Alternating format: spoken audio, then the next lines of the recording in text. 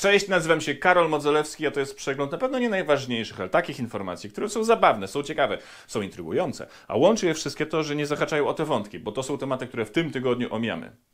Mniej się działo w tym tygodniu, a to dlatego, że były święta. Niemniej jednak zaczynamy. To zacznijmy przekornie od tego, co na świecie. Otóż na przykład w Senegalu do Pałacu Prezydenckiego wprowadził się nowy prezydent. Ale ciekawe jest to z innego powodu. Ponieważ razem z nim wprowadziły się dwie pierwsze damy.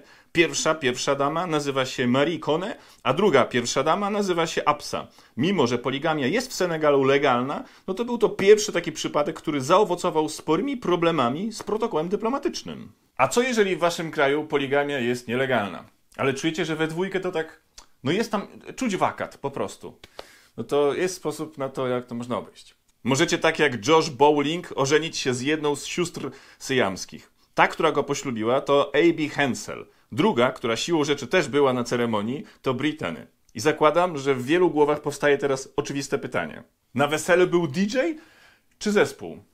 Jeden i drugi ma swoje plusy, ale chyba w Stanach popularniejsze są zespoły. Mnie interesuje bardziej, jak wyglądała noc poślubna? No bo od strony geometryczno-technicznej to to nie był trójkąt.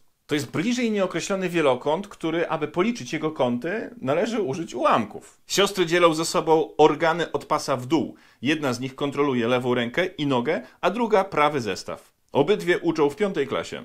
Siłą rzeczy musi to być ta sama klasa. Teraz pytanie, no, jakim cudem sobie tak dobrze radzą w życiu? Mają pracę? Jedna z nich ma męża i w ogóle dają sobie radę? No w końcu co dwie głowy to nie jedna. Blisko przymusowego rozdwojenia był inny Amerykanin, Shane Ramge, który w mieście Eugene w stanie Oregon no, uczestniczył w takiej oto akcji. Video of an Oregon man narrowly dodging a runaway four-foot saw blade just moments after he went into a convenience store. Co robiła tam tak ogromna tarcza od piły? No turlała się bardzo szybko, jak widzieliście. A skąd się tam wzięła? Otóż oderwała się, wypadła z piły do cięcia betonu i przeleciała przez parking.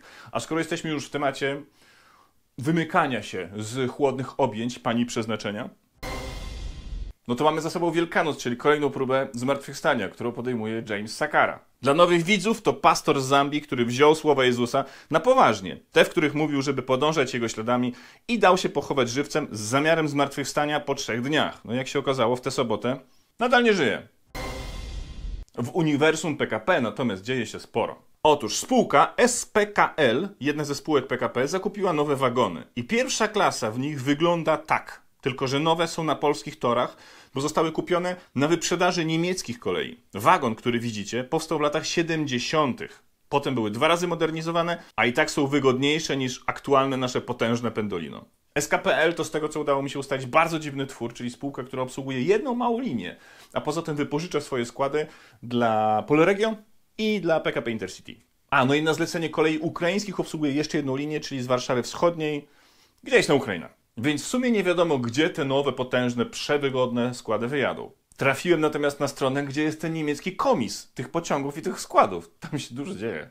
I można, proszę ja was, kupić sobie na przykład taki skład dwuczęściowy, zespół trakcyjny, wyposażony w technologię odchylania podpodłogowego i napęd spalinowo-hydrauliczny, o którym zawsze marzyliście albo lokomotywę elektryczną E112.1 rocznik 93. Podobno Niemiec do tej pory dzwoni, żeby posłuchać, jak sunie po torach. I ten odcinek newsów byłby dłuższy, ale straciłem bardzo dużo czasu na to, aby zarejestrować się w niemieckich kolejach jako wiarygodny, potencjalny nabywca lokomotywy elektrycznej E112.1. Tam było tyle etapów, trzeba było udowodnić, że jest się przedsiębiorczą, musiałem wyciągać te wszystkie numery i na końcu okazało się, że nie uwierzyli mi. A że uniwersum PKP to nie jest uniwersum, które podlega pod zwykłe prawa logiki ludzkiej, to dla równowagi pociągi z Bielsko-Białej do Krakowa mają w sobie element ulotności i losowości. Bo nie wiadomo, czy przyjadą, a jeśli przyjechały, nie dają gwarancji, że dojadą. Jak mówi Polregio, to dlatego, że ustalono, że puszczą tam stare awaryjne składy. Z kim to ustalali? Na pewno nie z pasażerami. W efekcie, wsiadając w taki pociąg na tej linii, nie masz pojęcia, w której miejscowości skończysz swoją podróż, bo akurat tam skład ulegnie awarii. Tak jak pociąg, który zatrzymał się w Andrychowie, a więc wezwano skład zastępczy, który też uległ awarii. W końcu stanęło na autobusie. A kilka poziomów prestiżu wyżej, bo w Pendolino Władze tej spółki zapowiedziały rewolucję w sprawdzaniu biletów, bo te mają już nie być sprawdzane. Otóż, jak wsiądziecie na pokład tej dumy polskich torowisk, no to sami się odprawicie. Zajmiecie miejsce, kliknijcie w aplikacji, że ok, to ja już tu jestem, nie trzeba mi sprawdzać biletu. Oczywiście też będzie nadal zachowana możliwość zakupu biletu u pani w okienku. Aczkolwiek taka aplikacja, która opiera się na zaufaniu i na tym, że przecież nikt nie będzie chciał doprowadzić do jakichś nadużyć albo wykorzystać czegoś, jakiegoś błędu, to brzmi jak coś, co się w Polsce bardzo dobrze sprawdzi. Moi drodzy, teraz tak, bardzo bym chciał, że jeżeli teraz coś jecie, żebyście to odłożyli. Widelce odłóżcie, jeżeli jecie rękami, odłóżcie ręce. Ale bym pizzę teraz jadł. Oh, pozdrawiam tych, którzy jedzą pizzę. Odłóżcie, jeżeli coś jecie, ponieważ w tym momencie najprawdopodobniej rodzi się nowy cykl na łamach newsów bez wirusa. A będzie nim aktualizacja pływalni Podolanka w Płocku. I postaram się to opowiedzieć tak, aby nawet ci, którzy nie jedzą, nie poczuli, że trochę za daleko. Będzie delikatnie. No więc, po raz kolejny doszło do poszerzenia składu wody w basenach o element pochodzenia ludzkiego. Tak zwany krecik, który nie tylko wystawił główkę, ale też postanowił wyjść, aby poznać świat i rzucić się w wir przygody, jakie ten świat dla niego przygotował. A ta przygoda w praktyce oznacza wyłowienie go tą siatką, no i zamknięcie tej części basenu. A o tym, że sprawa jest cykliczna, niech świadczy to oto kalendarium znalezione na stronie Nasz Płock, żeby nie skłamać, portalpłock.pl, okraszone nielichym oburzeniem. Kalendarium incydentów kałowych w Podolance. 10 marca. Pierwszy incydent kałowy w Podolance w 2024 roku. 18 marca. Niecka rekreacyjna została uruchomiona. 19 marca. Drugi incydent kałowy w Podolance. 22 marca. Niecka rekreacyjna została uruchomiona. 2 kwietnia. Trzeci incydent kałowy w Podolance.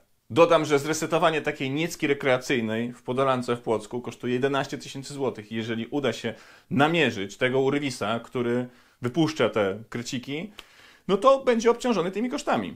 Postaram się trzymać rękę na pulsie, aczkolwiek będę wdzięczny mieszkańcom Płocka, widzom, którzy mieszkają w Płocku, albo mają tam rodzinę o informację w razie gdyby, wiecie, trzeba było aktualizować. Nie da się tutaj zrobić wstępu, który oddałby dramaturgię tej sytuacji i to, jak istotny jest ten news. A więc powiem to wprost.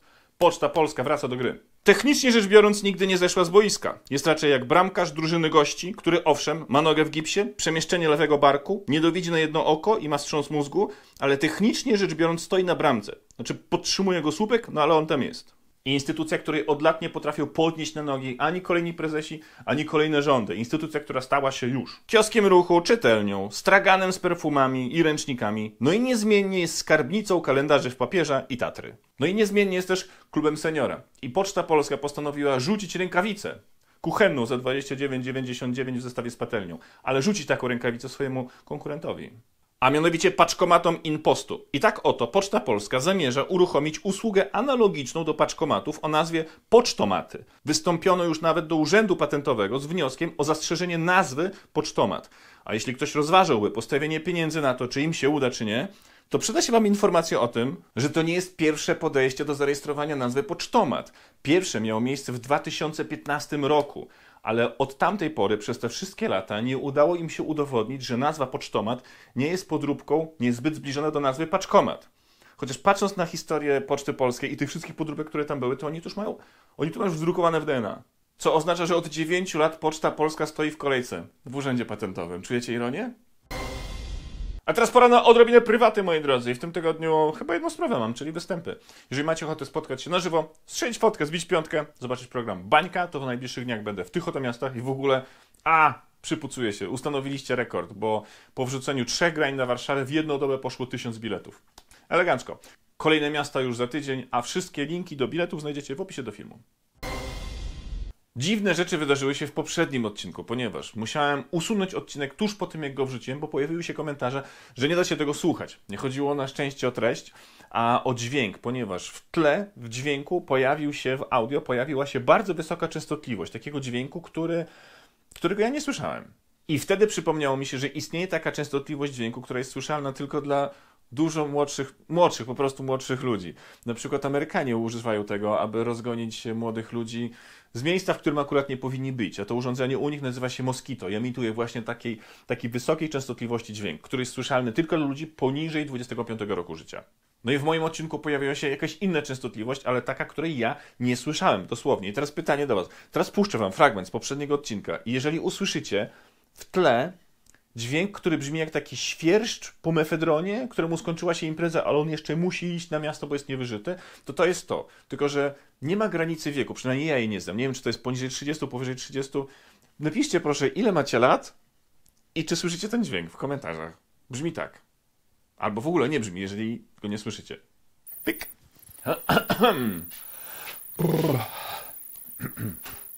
Oj. Drukarka. Dobra. Cześć, nazywam się Karol Modzelewski, to jest przegląd na pewno nie najważniejszych, ale no to jest przegląd na pewno...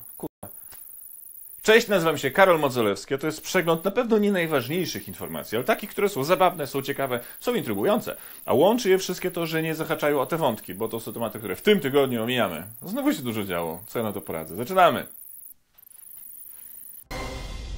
Przegląd ceramiki, czyli co ciekawego ostatnio zrobiły dzbany. I w tym tygodniu nie będzie jednej osoby, która po prostu stanie na podium. Trudno wytypować jedną osobę, bo jest to cała ekipa, a mianowicie ekipa programu Nasz Nowy Dom z Polsatu.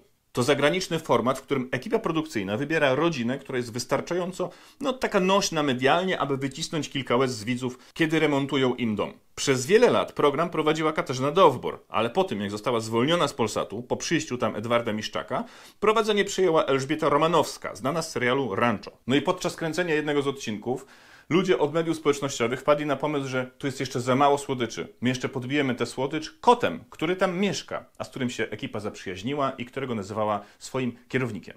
Jednak ludzie zauważyli problem w tym, że kot jest w fatalnym stanie. Jest chory, mocno zaniedbany i wymaga natychmiastowej pomocy, a nie pracy na etacie w promocji programu. I ten przegląd ceramiki nie jest o tym, że ludzie traktują zwierzęta instrumentalnie bez cienia empatii. Bo o tym można zrobić codziennie inny odcinek i on będzie naprawdę długi. Ten odcinek jest o tym, że ludzie, którzy pracują w telewizji, w ogromnej mierze są bardzo, bardzo odklejeni od rzeczywistości i wychodzą z założenia, że oni kreują tę rzeczywistość, a nie tylko pokazują. Bo dalszą część historii opisała mi dziewczyna, która odebrała tego kota stamtąd i przekazała go do fundacji Serce dla Zwierząt, która zajęła się kotem, który był w stanie ogonalnym. Co ważne, program był nagrany kilka miesięcy wcześniej i kiedy został wyemitowany, to na Polsat posypały się gromy, że co wy robicie, dlaczego lansujecie się zwierzakiem, który już ledwo, ledwo zipie. Więc co robi ekipa przyłapana na czymś takim? Hajzeruje. Hajzeruje, czyli po tym, jak zrobiła coś urągającego ludzkiej godności, stara się szybko wybielić czymś charytatywnym. Ale takim, żeby było szybko i żeby się mocno nie napracować. Więc rzucają apel o to, aby pomagać schronisku i w ogóle by być dobrym człowiekiem. Opatrzony komentarzem od nich. Kot jest leczony, niestety pomimo wysiłków rodziny, jego stan pozostaje ciężki. Na co odpisuje im Fundacja Serce dla Zwierząt. Jest leczony w Warszawie od kilku miesięcy. I to już jest bezczelne kłamstwo, którego nawet nie chciało im się sprawdzić. Los tego kota jest nam bardzo bliski, jest aktualnie leczony z tą rodziną, podczas gdy tak naprawdę od kilku miesięcy jest w tej fundacji i tam próbują postawić go na nogi. A komentarze dziewczyny, która wzięła tego kota z tego domu i przekazała go fundacji, program Nasz Nowy Dom, kasuje z Facebooka, no bo nie podoba im się to, że no, kreowana przez nich rzeczywistość nie zgadza się z tą, która rzeczywiście miała miejsce. I idą dalej, bo hajzerowanie to nie jest jeden krok. Hajzerowanie to galop w stronę absurdu i no takiej braku godności.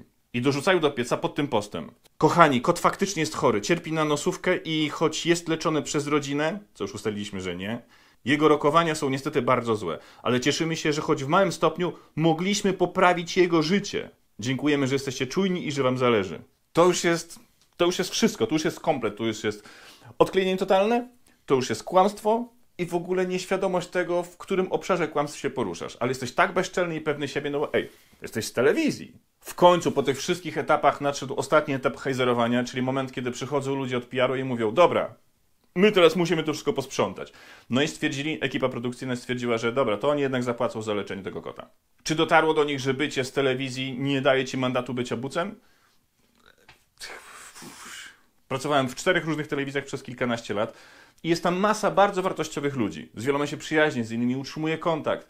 Ale jest to też tak specyficzna grupa społeczna i zawodowa, która jest wyjątkowo przesycona ludźmi przeświadczonymi o tym, że są tak wyjątkowi. Oni dosłownie wpisują narcyzm w CV, ale wytłuszczoną czcionką, bo są z tego dumni. Oni, branża reklamowa i szeroko pojęta marketingowa, to jest takie stężenie ego na metr kwadratowy, że tam dochodzi do implozji narcyzmu. Dlatego oni tam mają takie pancerne okna, żeby im szyb nie wywaliło. Minuta ze zwierzakami i kłoką na wyrównanie ciśnienia.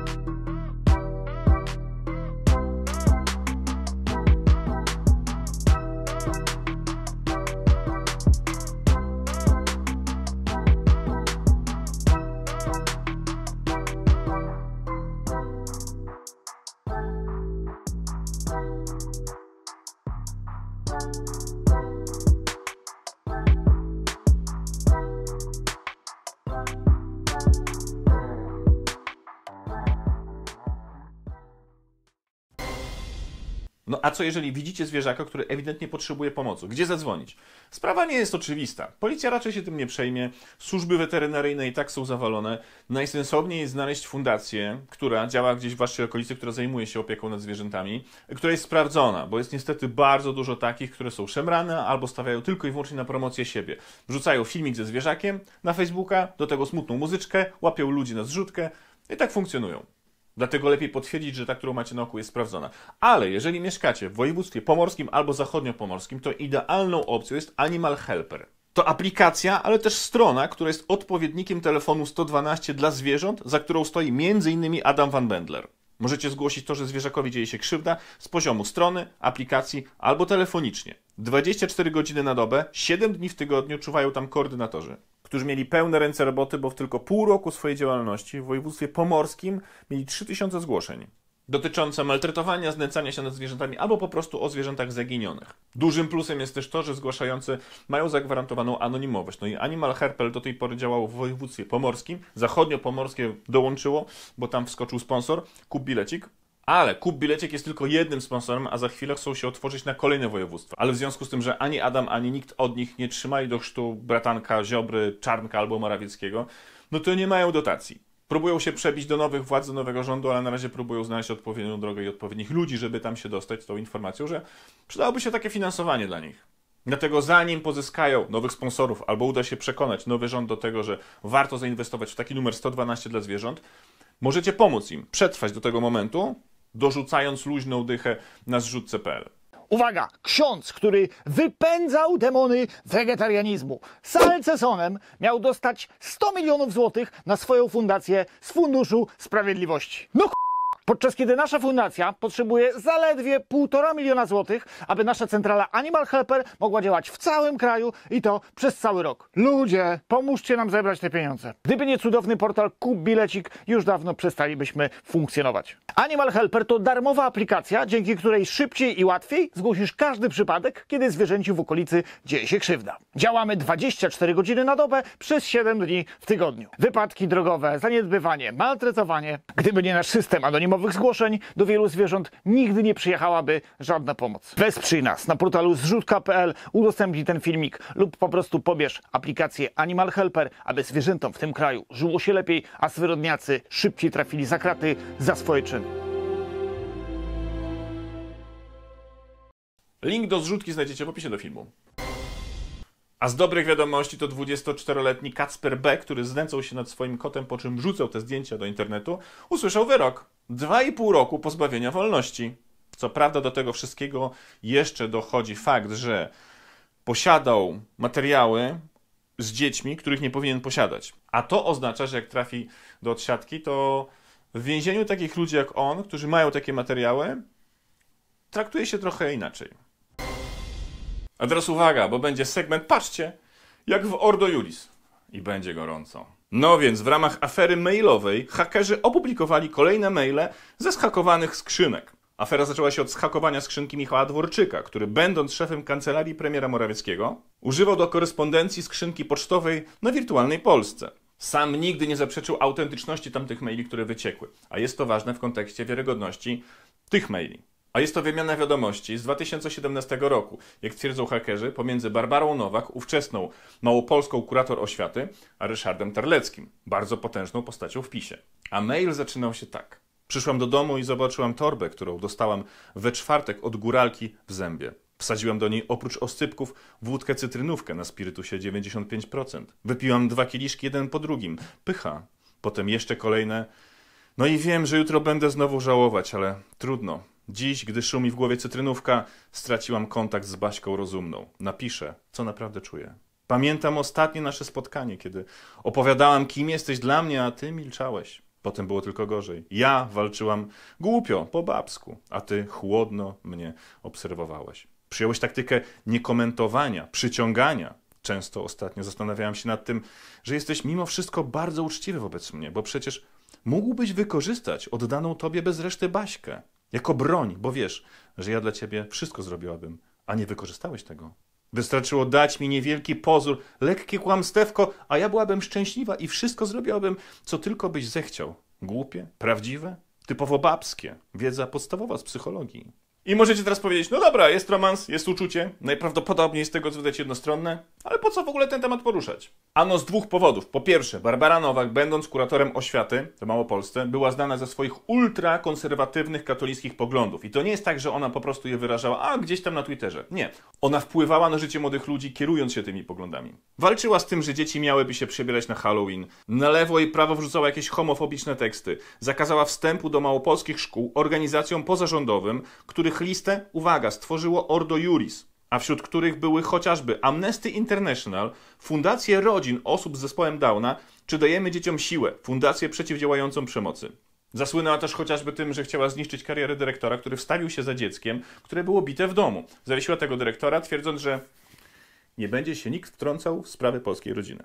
Wszystko to, co wymieniłem i dużo, dużo, dużo więcej ma na koncie. I ona to wszystko robiła oficjalnie, zawodowo, w ramach swoich pseudoobowiązków, kierowana właśnie tymi wszystkimi wartościami, które głosi. Cytowała papieża, robiła wszystko, co tylko w jej mocy, aby ochronić polskie rodziny przed tym lewackim złem, rozpasanym lewackim złem. I Europą, i Zachodem. No i teraz wjeżdża informacja o tym, że miałaby mieć romans, przy czym sama ma męża, dwie córki i wnuczkę, a Ryszard Terlecki drugą żonę. Mówiłem, jak w Ordo Juris, będziemy bronić polskich rodzin, ale najpierw wcześniej zniszczymy kilka własnych, wiecie, żeby przejrzeć taktykę przeciwnika. A drugi powód, dlaczego należy o tym mówić. To, że gorące, choć nieco infantylne wyznania, przypominające listy Laury do Filona, zmiksowane z listami, które Lenin dostawał od swojej francuskiej kochanki Inesy Armand, są przeplatane mocno politycznymi wątkami, bo jest też refleksja nad władzą, jaką dostała.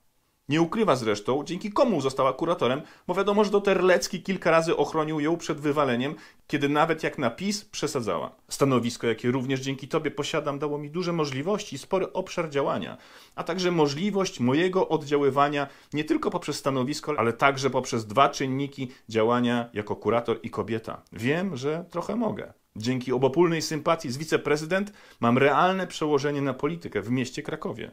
Jestem stale jeden krok przed resztą kuratorów z całej Polski. Nawiasem mówiąc, chodzi o wiceprezydent Krakowa Katarzynę Eś, której prokuratura postawiła już zarzut korupcji, bo wyłudzała pieniądze na dotacje na przedszkola. Mam pewność, że wiele potrafię. Dla partii i ciebie, Rysiu, mogę wszelkie swoje umiejętności oddać. Moja polityka spowodować ma zastopowanie strajków ZNP i pełny sukces reformy. Każdy mój sukces ogłoszę Twoim sukcesem. Najchętniej byłabym Twoim cieniem. Długi był to mail, nie dla każdego, bo tam momentami wchodzą bardzo osobiste wątki, których tutaj nie będę poruszał, no bo są granice i nie chcę ich przekraczać. Natomiast jest on opatrzony informacjami, które po pierwsze tylko ona mogła mieć, a po drugie wiele z tego można potwierdzić bez problemu. Na co odpisał Terlecki. Basiu, coś się pochrzeniło z moją pocztą, ale już działa. W tym tygodniu mam Sejm, spotkam się chętnie w następnym. Postaram się umówić z Jotka, czyli Jarosławem Kaczyńskim, przed czwartkiem, więc także przed twoją z nim rozmową. No a co na to pani Barbara? Odniosła się do tego, ale uwaga, nie zaprzeczyła autentyczności tych maili. Napisała: Dociekliwym polecam sprawdzić liczbę moich zawiadomień organów ścigania o groźbach karalnych wobec mnie i moich bliskich, analizę uznania mnie za ofiarę stalkingu, ściek hejtu od lat. Teraz stan gotowości najwyższej, przecież kandyduję w wyborach. Zombie żądają pisowskiej krwi. Czyli klasycznie, czy jest pani hipokrytką? To pytanie to jest atak na mnie. No ale czy jest pani hipokrytką? Czy te maile są autentyczne, czy nie? Ja startuję w wyborach, proszę pana. Co to ma wspólnego? Zakładając autentyczność tych maili, to jej relacja z mężem troszeczkę się zmieni. Bo jedyne, co ich będzie w tej chwili łączyło, to już tylko prokuratorskie śledztwo dotyczące poświadczenia nieprawdy w oświadczeniu majątkowym przez tę dwójkę. A pani Barbara i jej mąż mieli to zrobić, aby wyłudzić od miasta mieszkanie, które im się nie należało. Ale najbardziej szokują nie wątki osobiste, ale to, że kuratorka oświaty deklaruje w swojej pracy oddanie przede wszystkim partii, nie uczniom, nie misji niesienia kaganka oświaty, nawet nie nauczycielom, partii. No i Terleckiemu oczywiście. Właściwie każdy aspekt jej pracy był porządkowany tej osobisto-politycznej relacji. Poza tym to też pokazuje elementy politycznej korupcji. I teraz pytanie, jak to mogło się stać? Terlecki? Ale moi drodzy, Terlecki to jest pies. Dosłownie. Terlecki w młodości, kiedy był hipisem, miał właśnie taką ksywę, pies. Zresztą miał płomienny romans z Korą. Tak wyglądał kiedyś. Ale teraz też nie można powiedzieć, że tam w otchłani, w głębi tych mądrych oczu nie tli się iskra, która potrafi wzniecić nie jeden pożar, a na pewno zaczadzić. W temacie wyborów regionalnych, no to burmistrz Kościerzyny, Michał Majewski, to jest ten, który y, bodajże tydzień temu albo dwa tygodnie temu pokazywałem wam, że rozwiązał problem braku miejsc parkingowych, ponieważ stwierdził, że a, nie będzie się ograniczał i zaparkował samochód z jego banerem wyborczym po prostu na płycie rynku. Bo czemu nie? No to rozwiązuje ten problem braku miejsc parkingowych dalej, no bo jeżeli jesteś dzbanem, no to nie zatrzymujesz się na jednym, idziesz dalej. Aj, panie burmistrzu. Miłościwie nam panujący pan burmistrz parkuje sobie tutaj swój samochodzik. Chyba od soboty, ale na pewno od niedzieli. Znak trochę jak byk. Poniedziałek, piątek, 7.16, maksymalnie do 10 minut. No ale jeżeli chodzi o naszego pana miłościwie nam panującego burmistrza, oczywiście znaki nie obowiązują, przepisy nie obowiązują, możemy sobie postawić gdzie chcemy samochodzik. No jeżeli ogólnie nie ma problemu, żeby go zaparkować na kilka dni na płycie rynku, no to przecież też nie ma problemu, żeby go zaparkować na zakazie. No także serdecznie pozdrawiamy, liczymy na dobry, fajny wynik te, tych wyborów. No dobra, no bo w niedzielę są wybory samorządowe i będziemy wybierać tych gagatków, którzy oblepili każdy wolny płot. I teraz, od was będzie zależało, czy zagłosujecie na kogoś, kto mu realnie zależy i będzie chciał zrobić coś w waszej okolicy, czy na jakiegoś takiego szemranego typa, albo typiarę. A zatem, co czeka nas przy urnach i jak się przygotować? No to w kilku krokach. Po pierwsze, przed wyjściem, jeśli nie jesteście pewni co do tego, gdzie możecie głosować, bo na przykład ostatnio się przeprowadzaliście, sprawdzicie to w aplikacji M-Obywatel albo Centralnym Rejestrze Wyborców w serwisie gov.pl. A kto kandyduje i gdzie znajduje się Wasza komisja wyborcza? Pełne listy z nazwiskami kandydatów do naszych samorządów znajdziemy na stronie wybory.gov.pl. Wystarczy, że wpiszemy tam adres zamieszkania albo numer komisji wyborczej, który już znamy z aplikacji M-Obywatel.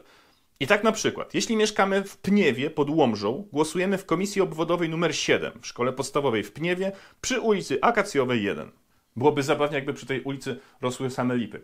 A jak już będziecie na tej stronie i zjedziecie niżej, to znajdziecie tam wszystkich kandydatów. Możecie poklikać, poczytać, sprawdzić, czy to oszołomy, które chcą obalać maszty telefoniczne, czy ludzie, którzy mają pomysł na waszą gminę czy powiat. Przyklikacie tam kandydatów do sejmiku, powiatu, gminy i w tym wypadku na wójta. Ponieważ na miejscu dostaniemy przy urnach cztery karty. Jedna do głosowania na wójta, burmistrza lub prezydenta, druga na radnych gminy, trzecia na radnych powiatu, czwarta na radnych do sejmiku wojewódzkiego.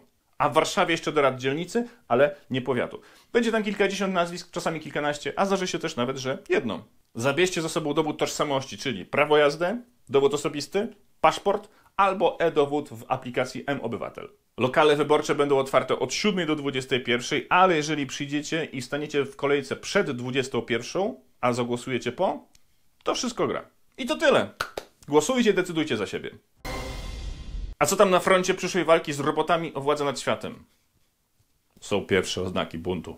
Otóż Nvidia, która jest jednym z największych i najważniejszych graczy, jeżeli chodzi o sztuczną inteligencję, dołączyła też do wyścigu, w którym celem jest stworzenie humanoidalnego robota, który ma nam towarzyszyć w przyszłości na co dzień. I podczas prezentacji pokazano te mniejsze roboty. Jeden z nich stwierdził, że nie będzie mu ten udawany Steve Jobs mówił, co ma robić. Let's go. Five things. Where are you going? I said right here.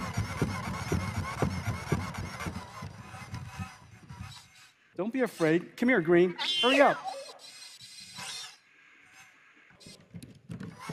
Come on, Green, hurry up.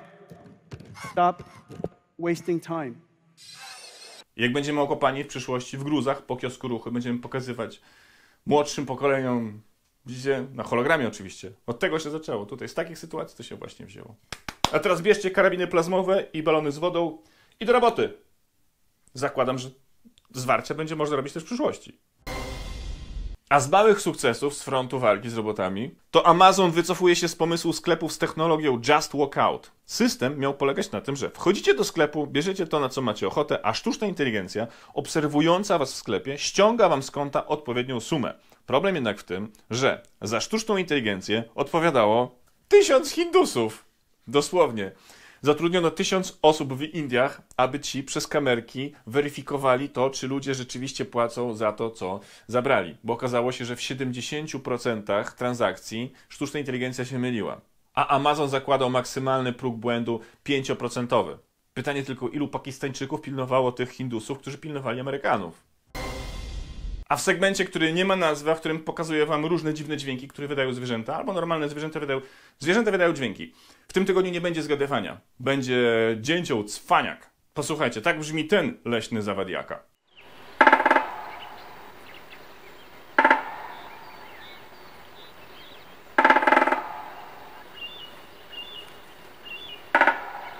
No i tu rodzi się kilka pytań. Po co? Dlaczego? Czy ta latarnia świeci mu w gniazdo i to mu przeszkadza? A może, może wychodzi z założenia, że ograniczenia istnieją tylko w naszych głowach i wiecie, sky is the limit. Otóż nie. Jest to dzięcioł cwaniak, ponieważ to stukanie ma dwa cele. Po pierwsze, ma pokazać, gdzie jest jego terytorium. A po drugie, ma zwabić samice, które byłyby potencjalnie zainteresowane malowaniem pejzaży. I kiedy inne dzięcioły muszą się pocić, starać się, robić co tylko w ich mocy, żeby wydać jakiś głośniejszy dźwięk z byle brzozy, ten cwaniak staje sobie na tej lampie, która z racji tego, że jest skonstruowana z takiego, a nie innego materiału i w środku jest pusta, jest naturalnym rezonatorem i jest wzmacniaczem tego wszystkiego, co on wysyła w świat. Genialne, nie pochwalam, ale rozumiem. A teraz pora na Psindera, czyli segment, gdzie przedstawiam wam różne zwierzaki z różnych schronisk, które tylko czekają na to, żeby w ten sposób zaatakować was swoją miłością. I w tym tygodniu, patrzcie na niego, to Azor. Może i ma zwyczajne i typowe imię, ale to jedyne zwyczajne i typowe, co można o nim powiedzieć.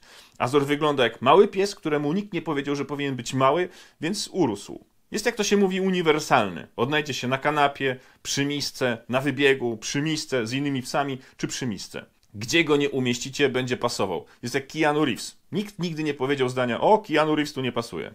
Gdyby zagrał w miodowych latach, ludzie i tak by mówili, że zaskakująco dobrze tu pasuje. Azor ma 3 lata, z czego ostatni rok spędził w schronisku. Był wycofany, ale przekonał się do ludzi i teraz nadrabia te stracone zaufanie. Dużo go wszędzie, jak pojawia się człowiek. Jak go już weźmiecie, to odwdzięczy się bombardując was radością i wdzięcznością w sposób, którego się nie spodziewacie. Dogaduje się też z innymi psami, co jest dużym atutem. Więc jeśli czujecie, że tego ananasa wam brakuje w domu, to dzwońcie pod ten numer. Azor czeka na was w Strzelcach w województwie świętokrzyskim. Przypominam też, że każda osoba, która adoptuje zwierzaka przez Psindera, otrzyma wyprawkę za dwie stówki ze sklepu TipTop na akcesoria marki Trulaw i 10% zniżki na przyszłość, wyprawkę na 3,5 stówki ze sklepów Tropidog lub Tropicat i zniżkę 20% na przyszłość, plus pakiet o wartości 4 stówek od PetStars. A ode mnie wstęp za free na wszystkie imprezy z moim udziałem do śmierci mojej albo waszej. A teraz kronika kryminalna, w której penetrujemy rubieża świata zbrodni, w której rekiny przestępczości wypływają na ten akwen świata zbrodni. Zaczynamy grubo. Bo dwójką policjantów z komendy w Janowie Lubelskim, którzy zostali zatrzymani przez Biuro Spraw Wewnętrznych pod zarzutem przekupstwa psychiatry. Lekarz z Rzeszowa miał wypisywać im fałszywe zaświadczenia o stanie zdrowia. A kwota, o której mówimy, dla której i lekarz, i policjanci ryzykowali swoją zawodową przyszłość, to 50 złotych. Co się stało z czasami? Co się stało z hasłem, że jak kraść to miliony? Mało prawdopodobne, żeby poszli siedzieć za coś takiego. Chyba, że po drodze jeszcze coś innego narozrabiali, na przykład, nie wiem, przymknęli oko na jakiś rozbój w sklepie spożywczym w zamian za korzyść materialną w postaci dwóch i pół sneakersa, bo jeden był gryziony. Jeśli jednak znajdą na nich coś więcej, to to jest człowiek, który może im się przydać. Człowiek, który na grupie Spotted Luboń zamieścił to oto ogłoszenie. Oferta korepetycji dla przyszłych więźniów, tak zwana grypsera. Jako były wieloletni więzień zakładu karnego w Barczewie i tak zwany git, mogę przyuczyć osoby, które dopiero będą się wybierać do więzienia, aby potrafiły się odnaleźć w tamtym środowisku. Pokażę Ci pełną grypserę, opowiem co to poprawne krańcowanie i powiem jak nie zostać frajerem. Zapraszam również młodzież, która chciałaby się dowiedzieć więcej i poznać grypserę, która ostatnio jest modna również wśród młodzieży. Osoby do 18 roku życia bezpłatnie, za zgodą rodzica, całą resztą do uzgodnienia symbolicznie, bo robię to z pasji bardziej niż z zarobku. Po pierwsze nie dla sławy, po drugie nie dla pieniędzy. Czysta zajawka, nie komercyjne gówno. A kronikę kryminalną kończymy 63-latką, która wpadła na pomysł, jak przemycać narkotyki do więzienia, w której siedział jej syn. Zrobiła to za pomocą znaczków pocztowych. Z tego, co ustalili śledczy, to nasączone one były substancją ADB butinaka. No i o ile zostało mi trochę czasu po tym, jak chciałem przekonać koleje niemieckie, że jestem poważnym potentatem kolejowym, tak resztę czasu zużyłem na sprawdzenie, czym jest ADB butinaka. I jest to dopalacz, który, cytuję klasyka z komentarzy z forum, po dwóch wiadrach gwarantuje schizofrenię i senność. I uzależnia od pierwszego użycia. I gdyby tych znaczków było więcej, gdzieś tam się zaplątały na urzędach pocztowych, no to mogłoby bardzo klarownie tłumaczyć, skąd tam zawsze jest tylu emerytów. Często piszecie do mnie w listach Karolu, sprawa jest, bo chciałabym być influencerką. Patrząc na poziom tych, które uczą manifestacji pieniędzy, czy tego, że jedność z kosmosem rozwiązuje problemy życiowe, dochodzę do wniosku, że plaster bakłażana w miejscu płata czołowego byłby raczej atutem. Weź coś dorać, co ci zależy. Moim zdaniem, znajdź coś, co możesz szlifować tak długo, aż w końcu pyknie.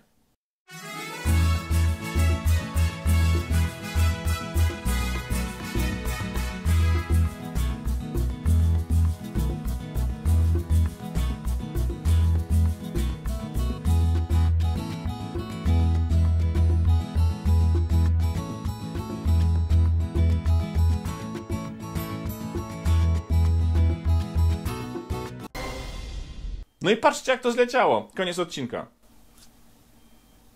Ten dźwięk, który teraz słyszycie, to jest budowa, która się obok odpaliła. Tak, ja go też słyszę, czyli to jest niska częstotliwość. Wielkie dzięki, że zostaliście do końca. Ogromne podziękowania dla tych, którzy wspierają mnie na Patronajcie. Dzięki Wam powstają kolejne odcinki z serii Na co to komu. Kolejne już są w przygotowaniu. Nie będę zdradzał o czym. Niech to będzie niespodzianka. Dla tych, którzy oglądają reklamy, wielkie dzięki. Dla korespondentów, którzy na stałe ze mną współpracują. A jeżeli macie coś ciekawego, czym chcecie się podzielić, to piszcie najlepiej na Instagramie albo na maila newsy bo z Facebooka się powoli wycofuję. Strasznie tam jest toksycznie to, to poszło w bardzo złą stronę. Kolejny odcinek w piątek o 19. Udanego weekendu, tudzież tygodnia. Do zobaczenia, cześć. I teraz przestali. Słyszycie? Dosłownie w momencie, kiedy powiedziałem cześć.